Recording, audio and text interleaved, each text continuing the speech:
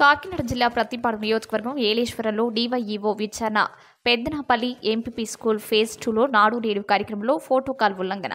Yeleswaram MPP Gollapalli Narasimhamurthy YSRCP ఫిర్యాదుపై ఈ విచారణ.